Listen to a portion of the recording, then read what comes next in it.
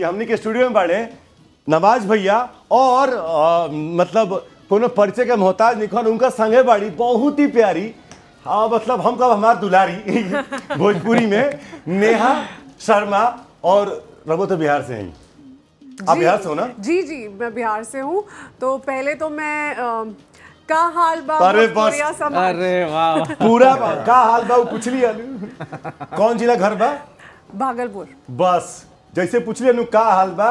पूरा बिहार के हाल बेहाल होगा ठीक नु?